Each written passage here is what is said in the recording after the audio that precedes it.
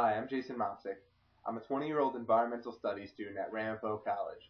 I live and grew up in a small beach town in New Jersey called Manasquan. I'm very active and I'm a skilled surfer, kayaker, strong swimmer, and generally adventurous outdoors enthusiast. I spend a lot of time at the local nature preserve. There I enjoy the songs of birds, the sea air, and the beauty of nature. Any image of beauty that strikes me, I'm sure to photograph and proudly share. In terms of writing experience, I'm a songwriter and poet. The experience I have in expressing my world through poetic lyricism would lend itself greatly to describing the ecstasy I would be sure to find in life along the reef. I would consider this opportunity the greatest gift and unparalleled experience in on-the-job training for a career in environmental studies.